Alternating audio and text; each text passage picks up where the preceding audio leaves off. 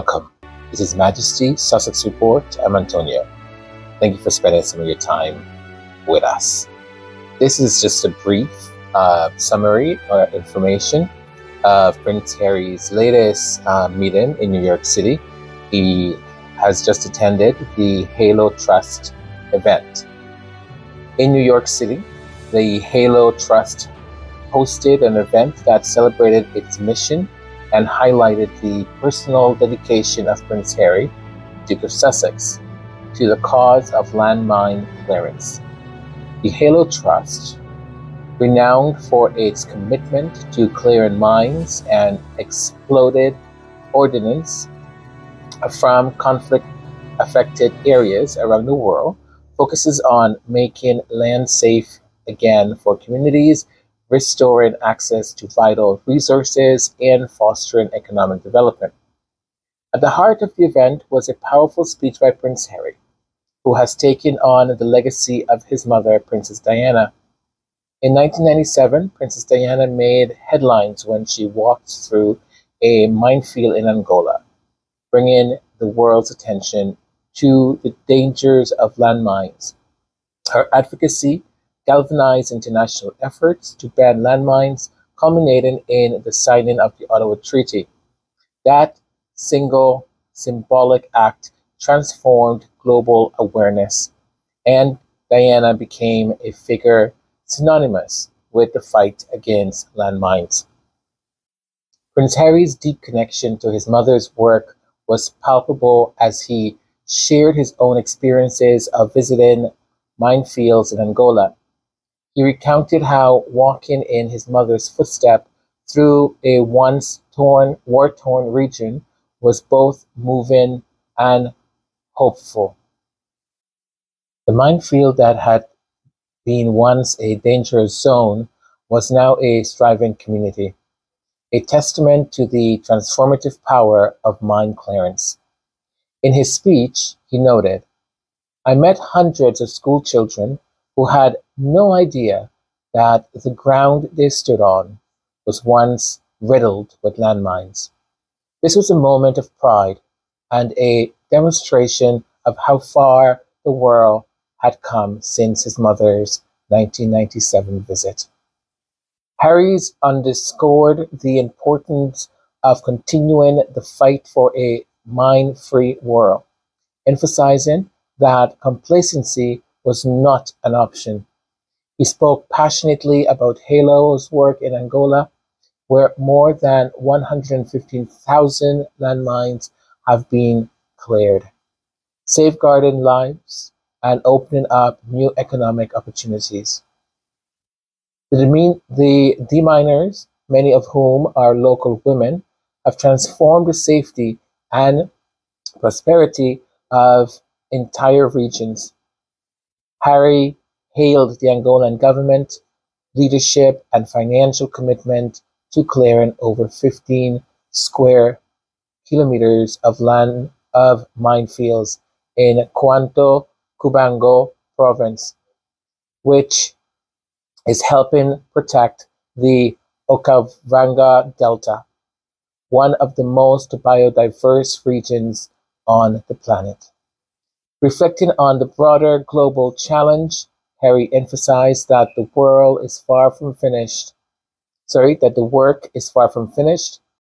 Used in new and devastating ways in other conflicts, notably in Ukraine. Angola gives the world hope that wars can end and there can be a future. We should draw inspiration from Angola's example and stand with the country as it finishes the job. It's also worth noting that we would not be here talking about Angola. We almost certainly couldn't have realised the successes we've achieved were it not for Diana, Princess of Wales, and the incredible legacy she left behind. In 1997, Princess Diana walked across a cleared, safe path in a minefield in Huambo, Angola, and galvanized the world's attention. Her advocacy set the stage for the Landmine Ban Treaty and for governments and the private sector to end the scourge of landmine contamination. The Halo Trust is thrilled, therefore, that her son, Prince Harry, the Duke of Sussex, has directly carried on her legacy and the clarion call for landmine clearance. In 2019, Yusa visited that former minefield in Huambo, which is now that bustling town you saw in the video, and saw firsthand the promise for human life and the natural environment that a mind-free Angola will provide. You've been one of our most ardent voices and advocates for mine clearance, and I'm thrilled that you have made time to be with us here today. Ladies and gentlemen, I'm delighted, therefore, to give the floor to Prince Harry, the Duke of Sussex.